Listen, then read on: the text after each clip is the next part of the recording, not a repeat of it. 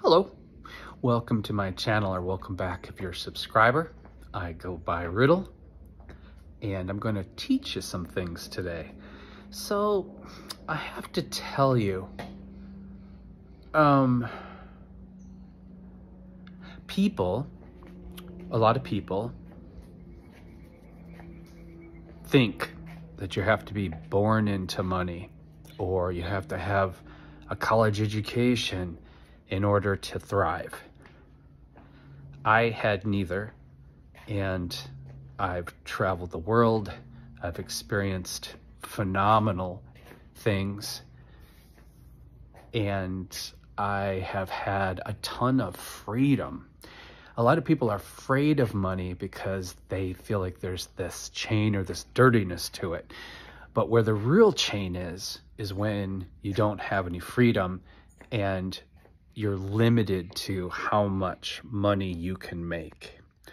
Now, there is, of course, poverty, but in my observation, living in poverty and then living in abundance, I think that a lot of times poverty can be a um, psychological state you know, I lived in a neighborhood growing up where there was a ton of violence. But the fact was, even the people who are on welfare were getting enough food to be morbidly obese. They had three television sets and a large, warm house with all free utilities. Is that poverty? No, that's pretty comfortable. Um, they were actually living more comfortably than we were, my dad working a factory job. But the problem with the people was that somebody had convinced them that they had less and they were less and that they were poor. And so there was this degree, a large degree of people coveting what they had and people um, basically trying to take other people's stuff. They acted like animals with with with with a lack of resources. But in fact, if the community would have come together and shared resources and helped to protect each other and take care of each other, it could have been a paradise. But, you know, this is the human condition where we have been convinced that really if we come together as a community and sacrifice our individuality or our resources, then it's a cult, you know, or, you know, we laugh at these things, this idea of, of sharing and working together.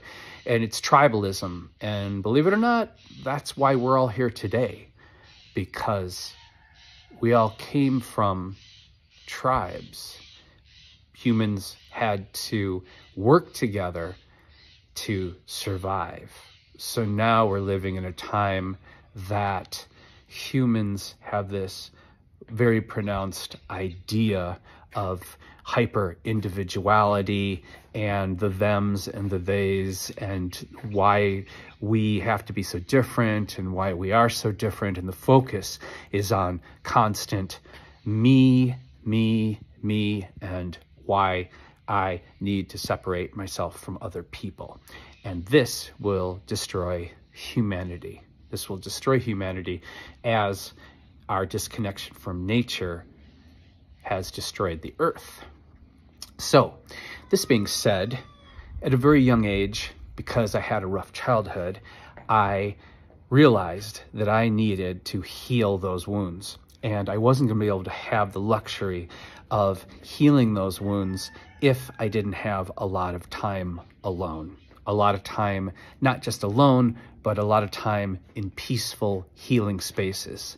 So, my first move was to, of course, escape my toxic environment, toxic family, toxic city. And then the next move was to create my own business. And you have to understand, I did this with nothing more than my bare hands. And I was taught the basics of basket weaving. Uh, my friend would go out into the woods and rip down wild grapevine and he would weave it into baskets and he would sell it to flower shops and individuals. So I kind of did an apprenticeship with him. But at one point, I realized that he was a terrible businessman and that he was always going to be paying me squat and that there was no future in it, staying as his apprentice and he didn't see the value in my business ideas. So I didn't compete with him. I moved to a larger town with more money. And um, as I was working a regular job, I started building this craft business. And it was, it didn't take very long before I was able to buy my own van, pay cash for it, and uh, had a job that was paying rent. And then from there, I moved out to the country. And it was a, you know, most people thought this little house I lived in was a shack. And they talk about, you know, how awful it was. But for me, the freedom because it was so inexpensive, the freedom to not have to worry about paying the bills and the freedom of having, you know, 15 to 20 acres around you, that was, they'll never understand the value of that and that I needed that healing. I needed to recapture my childhood that I, that I never had a chance to, you know, to experience the safety and the freedom that a child should have to grow into a healthy, well-adjusted adult. Um, I think I may have one advantage. Both of my grandparents on my mother's side were entrepreneurs. This doesn't mean they were wealthy. This doesn't mean that they made a ton of money or any amount of money that was ever passed on generationally. This just means that they had the uh, capacity and the tenacity that they didn't want to work for someone else. And both of them had their own businesses. And they've recently proven scientifically that people who are entrepreneurs have a certain type of brain. They have a certain type of brain that makes it easier for them to uh, intuitively follow through with the things that you need to do to have your own business and to make money. And I have that brain. I definitely have that brain. And that did not come from any kind of education, but I did at least have the example of my grandparents distantly having their own businesses. And that was, a, I saw that as a powerful thing. And um, I saw how people treated them and I did, and everyone, you know, I had a respect for that, and it was um, it was mysterious to me as a child because I was never close enough to them to really see what they were doing or how they were doing it, but um, it was just enough to show me that yeah, that is definitely a possibility for my future. If they did it, and I'm a branch from them, I can do that too. So now, after all of that babbling, I'm going to show you how someone with a wealth mentality sees opportunity. Sees, as in sees visually, and seizes, takes opportunity. Because uh, recently, a friend brought a young lady by my house, and uh, supposedly she'd worked at an uh, organic orchard on the East Coast and uh, was interested in plants, very interested in plants and potentially starting her own business. And I thought it would be great for her to be an apprentice. And the first thing that was kind of a red flag for me is that, you know, she's a new person and she showed up invited to my house empty handed. Now, I know that's an old fashioned, perhaps it's an antiquated idea, but to someone who has a wealth mentality, to someone who has, someone who shows up with nothing when invited to your home, that shows a level of like poor poorness, poor civilities, um, a level of, of poor, uh, she was raised without something, some basic manners. Um, it uh, that she, you know, it doesn't have to be anything elaborate, but the fact is, you don't show up to someone's house when you're invited empty-handed because the person definitely won't um, won't be impressed by you. And if you're out to make an impression, you never show up to someone's house empty-handed. It's a very, very basic thing. So the second thing, you know, as I talked to her, I realized that um, she she was smart enough and she was kind enough, but she just had that thing, that thing that so many people have, this poorness. And I don't mean like financially, I mean that just she was cut off. She was cut off and she was even with her emotions, even with her communication. I mean, when you're around me, I'm just give, give, give, give, give on many, many different levels. So now I'm, you know, I'm learning to be more wary of people that are in that poverty mentality, the people that think they have nothing to give, you know, when actually with a little bit of effort, you can always come up with something. And the saddest part about this story is I could have changed her life overnight. I literally could have practically handed her all the skills and all the resources for her to be making really great money, doing what she loves, in a matter of weeks, in the matter of weeks. But because of her poverty mentality, because of her closed, her closed, how she's closed off from connection, she, I probably never see her again. Even though I mentioned, like I gave her some crumbs, you know, I gave her, and she said, oh, those are great ideas, and I'd like to this and I like to that. But I can tell I can tell when someone is a loser. And what I mean by a loser is somebody who makes choices even when they're right in front of them and turns away from opportunity and back to creating a difficult life for themselves. People, a lot of people, and it comes down to self-awareness and self-esteem, choose what's familiar to them, which is misery and hard work versus, and the collar versus learning something new, trusting, trusting with an educated trust though, not, not a naive trust. And um, like seeing and, and seeing um, not just what I can get, but what I can share. And that's what I see with a lot of people in the area that I live in even people that have a lot, there's this, they're so great at talking about community and so great at taking, but they, they're so stingy when it comes to sharing or giving. And it's really just gross to me. It's gross because people around here have plenty, plenty. And yet it's this gross, pervasive poverty mentality or soul like poverty that is just I don't know. It's the opposite, the total opposite of what I'm into. So let's get to the nitty gritty. So we're going to start with, this is, these are all different ways of looking at things. Uh, poverty version of it or normal people version of it versus wealthy, wealth-minded, prosper, prosperous version of looking at it. These are two plastic totes, 20 gallon totes from Home Depot. Uh, 20, 25 years ago, I purchased $10 worth of compost worms.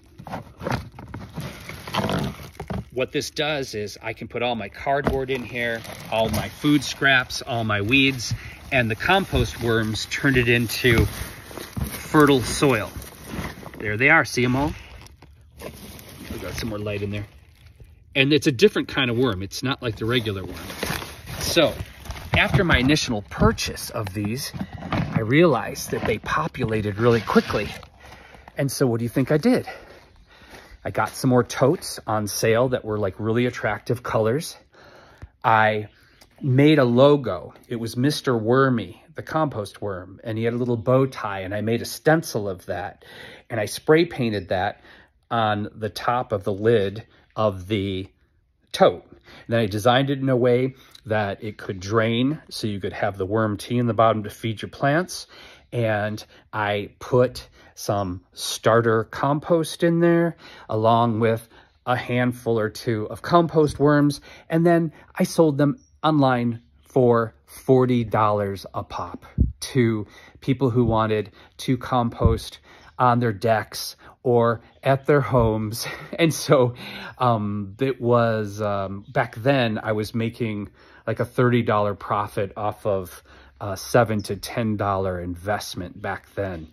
And since then, um, you know, it doesn't matter. I've kept them going. I don't sell the worms anymore, but that's how a rich person thinks. That's how somebody who want, doesn't believe that they're a victim to the economy or limitation thinks. I'll show you something else. Doop, doop, doop, oh, okay, we'll go over here. So you're growing a garden. And uh, let's say you have lettuce and arugula or sunflowers or what have you. So this particular arugula was a volunteer. And you can see I let it bloom all the way out. These are all seed pods.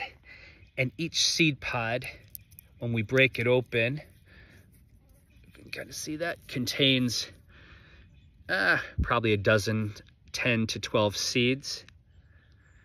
So this it would just naturalize in the garden. They'll just drop in and make more.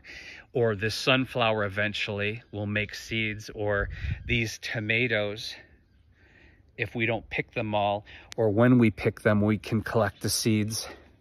Have you seen the price of organic seeds online? Every one of these vegetables, including that arugula that just made its own thing. What I'll do, I'll take a big plastic container, I will bend that whole wad of branches and seedlings into it. I'll beat the hell out of it, and there will be thousands of organic arugula seeds. And then put them in a fancy little envelope, and that envelope will be sold for five or six bucks a pop. So that one plant will probably conservatively make 120 to 160 dollars. I don't know just that one plant, selling seeds. Sell those seeds at the market, sell those seeds online, sell those seeds on um, Etsy, you could sell those seeds on. It's important too, before you start something like this, that you know that there's a mar that you have somewhere to sell it. It's very important that you've established your market because if there's not a buyer, then there's no reason to do it. But with the way the internet is now, and I also recommend if you go into a situation that you're making something that you have to mail it or ship it, that you go ahead of time and find out what your exact shipping costs are before you commit to that because shipping can be expensive. And if you're not making at least doubling your money or more, then you need to find something better to do. I'm to move on to my next thing, bamboo. So we had some friends that had to move because they were selling their property and they had a ton of wild of bamboo. They had black bamboo, they had golden bamboo. And I went over to their house and I dug a bunch out of the ground and I put it in pots. And guess what? Bamboo is really expensive to buy. For a little tiny five gallon pot of it, it can run 60 $70. So what do you think I'm going to do with this bamboo? And it's really prolific.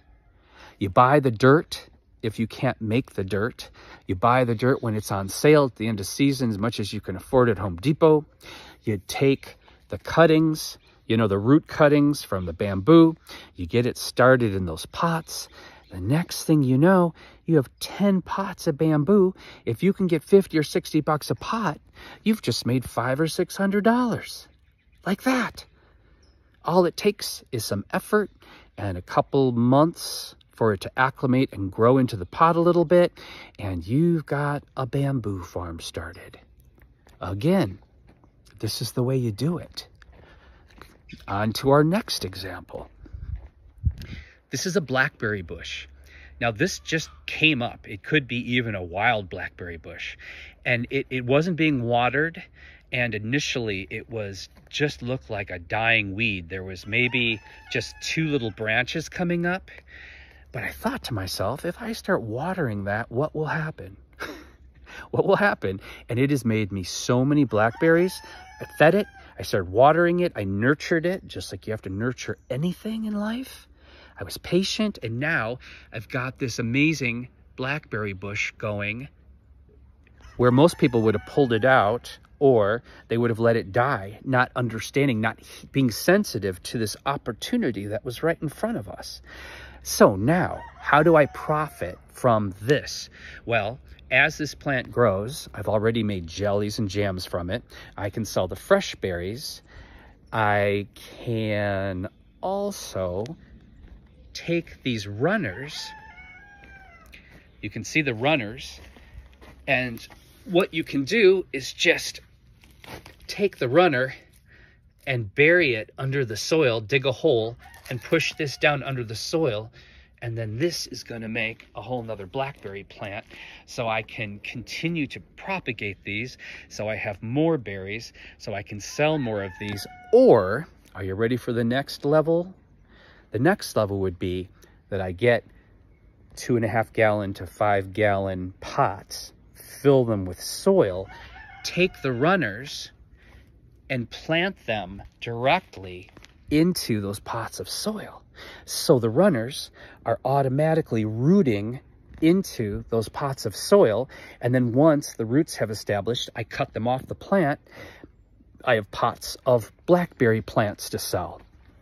This way, I'm already getting the berries and I'm going to have pots of blackberry plants to sell. You can check the price of those. They vary. But I have thornless ones that I can propagate, and I have these wild ones I can propagate. And so let's say you're getting, you know, even if you go cheap on it, let's say you're getting, um, you know, 10, 10 to $20 a pot, it all adds up.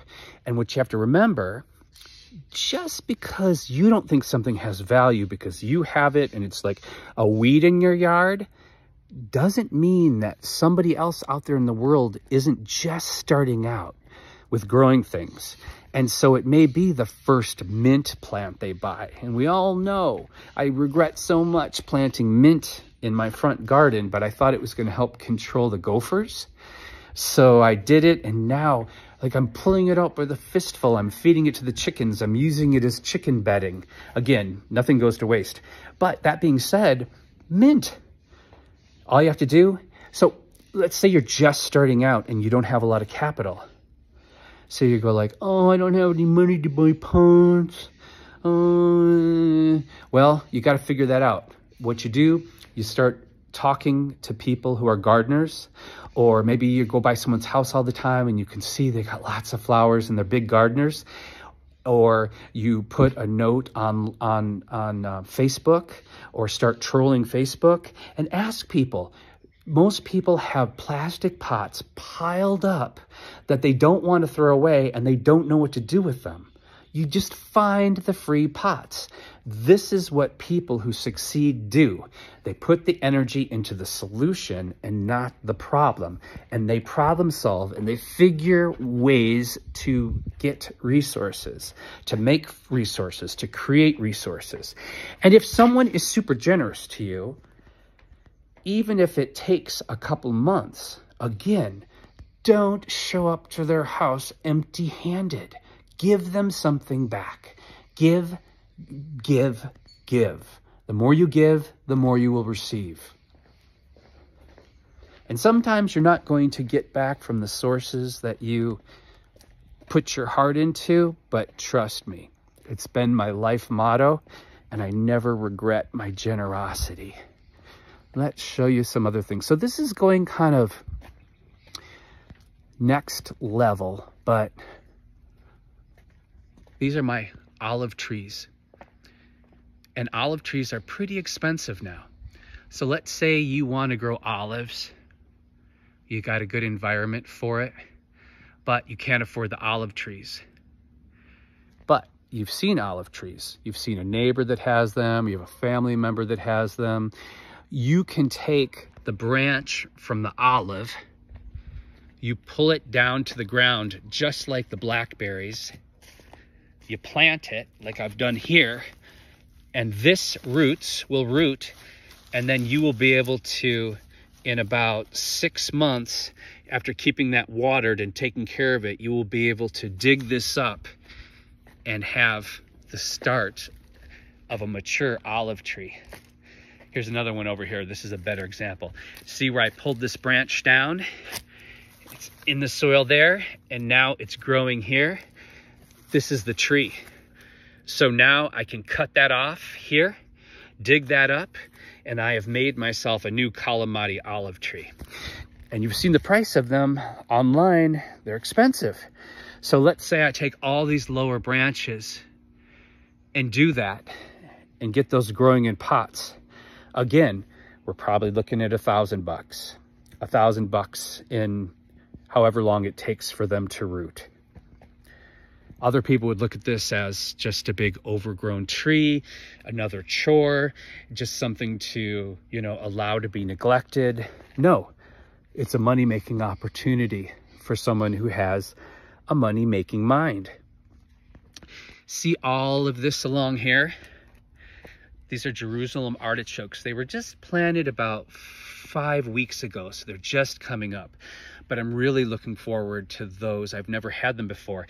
And then these giant squash plants in between the Jerusalem artichokes. You can see there's so many of these. These are one of my favorite squash slash pumpkins. They are the, the Asian squash.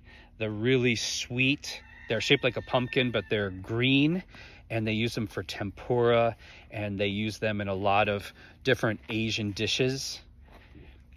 Where do you think those came from? Why do you think I have so many plants? Now, if I had to buy these, let's see how many plants we have. One, two, three, four, five, six. So there's about 50 here. So each plant would have cost about five to six dollars. So that's a lot of money. I literally bought an organic Asian pumpkin. I ate it. I collected all the seeds. The seeds were fresh and I pushed them in the ground after I planted my Jerusalem artichokes. And now I have 50 free Asian pumpkin vines that are going to make a huge fall harvest of Asian pumpkins for me that I'll be able to store, eat, give away, sell. Right? It's all around us. The opportunities are all around us. These, see all these banana trees? So we live, our climate's a little cooler. It's not tropical, but this is a banana that, that will live here. It has not had a good enough season yet to actually grow fast enough to produce bananas, but it's still a beautiful plant. And people love the look of a banana plant. Even if they don't get bananas, it's really dramatic in a pot or in your landscape. This started with one banana plant, the investment of one banana plant. I took that one banana plant, separated it into nine banana plants. And then this is year two, and those banana plants are making banana plants. And those little suckers, those little babies, can go right into pots and how much is a banana tree? Well, you'll look, look, look in your, where you live, but they're not cheap. And here I probably have hundreds, hundreds and hundreds of dollars, hundreds and hundreds and hundreds of dollars doing something I have to do anyways. They should be separated and getting them in pots and um, getting them sold. You know, when I lived in Los Angeles, every year I save my seeds, like I told you in the beginning of the video. I'd take those seeds and I would propagate them, and I always had too many seeds. So one year, I decided maybe I'll just take my little seedlings, because I had like 600 of them, 600 of them, and sell them in the front yard. I'll just put them out there, with a coffee can and a price and you know whatever happened happens i'm not going to invest a lot of time into it and i made a couple thousand dollars. A couple thousand every day i would go out there look in the coffee can and then word went around and the next year you know people were asking about it and so if you even live in just a normal neighborhood it can be as effortless as that. The marketing part of it is not difficult. I also have a close friend and she loves coleus and uh, African violets. So she grows the coleus in her basement under grow lights all winter long, babies them, finds like really exotic colors and stuff. And every spring, she has a literal plant sale, a coleus sale at her house. She advertises it on Facebook. And um, this year she made like 1500 bucks selling coleus. 1500 bucks. And she's not a professional grower. She doesn't have a greenhouse. It's just, you know, she she she got a rhythm going. She got some follow through and uh and away she goes. Um herbs, you know, once you get herbs started, you always have to separate them. You always have to separate them. So it's a great opportunity while you're separating them. You take one clump, you put it in the garden to grow more of the herb, and then you take the other clumps, little tiny clumps, and get them right into pots, into four to six inch pots. Do you know how expensive herbs are? Organic herbs. It's so easy. Of course, you have to keep them watered. You know, you do have to take care of them when they're in the pots. You have to have that basic discipline. But after your second year, you're going to have so much to share and sell. You can cut it and dry it, sell them in fresh dried bags. You can make herb mixes. This alone, just having a prolific herb garden, which is pretty maintenance free, can make thousands of dollars a year. Thousands. And you're giving people access to to medicine, you know, before there was medicine, they used the common herbs to heal everything. And um, the herbs you get at the grocery store, have you seen? They're so expensive and who knows how old they are and what they've, where they came from and what they've been sprayed with. Now, roses. If you have any roses, roses take cuttings really easily. You can propagate your roses and sell the rose bushes. Again, you just have to learn the basics of um, how to propagate. Um, these were these exotic potato seeds that I found online because my uh, friend's from Colombia and she's like, oh, the Colombian, the South American potatoes are the best and you can't buy them here and blah, blah, blah, blah, blah. So sure enough, I went online. I'm like, oh, you have to be able to get, they're just potatoes. You can't buy them here because of agricultural laws. So I found this guy on the web who specializes in rare and, and uh, wild potatoes from all over the world. And I bought potato seeds, the little tiny seeds. And so now I'm going to have my own exotic species of potatoes to propagate and sell for big money and I can sell the seeds, I can sell the little potato starts, I can sell the plants. And the thing with potatoes, if you know anything about um, horticulture, is they tend to grow like a vine. They grow very, very quickly. So you can constantly also be clipping them because they only need to grow out like six to eight inches. You keep clipping them when they exceed by four to six inches and you keep making cuttings, cuttings, cuttings. Then you have a huge amount of potatoes potentially at the end of the year to harvest for food security or sell the potatoes as seeds and starts to other people who want to collect some different species. Or, or, or, so these are all of these potatoes started at this level. I only filled the soil up to here. Then when the plants got this tall, I filled that in with dirt. Then when they got this tall, I filled that in with dirt. Now they're just reaching the top, but that means instead of just having potatoes to here, we're gonna have potatoes going all the way down to the bottom, which will quadruple our harvest You got to think of these things. Most people take a potato and they plant it in a little shallow pot or they just plant it on the top of the soil and they're totally missing out on the opportunity of the full spectrum of how you can maximize your money, how you maximize your crop. These are cuttings. They've taken a shock because I just clipped them and they're finicky. You know, the thing is you have to remember about potatoes is it's a tuber and so you don't want to overwater them. If you overwater them, they hate that more than if you underwater them. I'm going to go over to this side. So these grow bags, look how fast started these way down here. Now they're up to here already. All these inside of here is going to be potatoes. Again, if you, you know, especially if you're doing tubers, you want to use good organic soil because all that's going directly into that tuber. And now we're getting these tall plants, so I will cut it off here. That's going to go into a whole nother pot. I'm to, by the end of the season, this whole row will be full of these potatoes are these really fancy French fingerling tomatoes. So I had the initial investment of like 20, 25 bucks to buy the beginning ones from the internet. Um, it's called a R-A-T-T-E and I guess they have this hazelnut flavor to them. They're supposed to be one of the most delicious baking potatoes. So that's another thing you want to do. You know, don't just focus on the common stuff. If you have something that's rare or something that's, you know, something that other people don't have, that's going to make you stand out. That's going to make people want to come back to you, look, you know, search you out because you're going to be that person that has the cool stuff, the rare stuff, the interesting stuff when everyone else has the petunias and the lobelias and the marigolds, you're going to have the blue pea flower, the black dahlias, blah, blah, blah.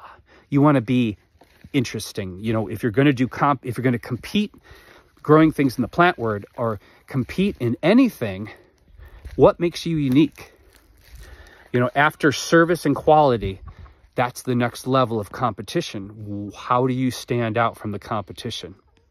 So this, all these blackberries you see here, they were all growing on the other side of the fence. So what I did, I started watering along the edge here and slowly coaxing them over with water by watering the soil. And so now I slowly have the blackberry grove growing into my yard. So next year and the year after that, I'm going to have this huge amount of blackberries now on my side of the fence.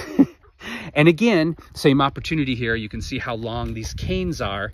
I'll just plant these directly into a pot and then or into the ground, into the ground if I want them to be propagated here or into a pot if I want to sell it. This plant here, a lot of people don't know about this, but this is called a thimbleberry. And I brought this in from the redwood forest. It is one of the only, one of the few and only berries that can grow uh, in the low light and the high acidity of uh, dense forest, especially a redwood forest. And they produce a fantastic large red raspberry flavored berry. Not a lot of them, only one to three on the top of the crown, but it's still a great novelty. So I was like, well, it's growing wild in the forest. I've got a redwood tree in my backyard that I have my mushroom farm growing under. Let's see if I can, you know, get it growing, get it growing on the property. And if I can, then I can propagate it and, and uh, you know, uh, have the berries myself as a wild source of food.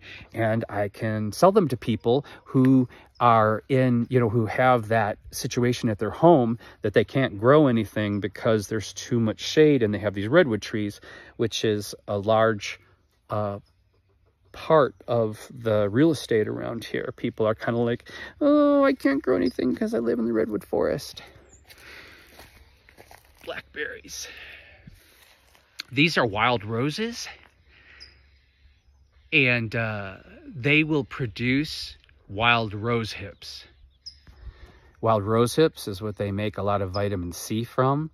You can also make wild rose hip tea with them. And these are free.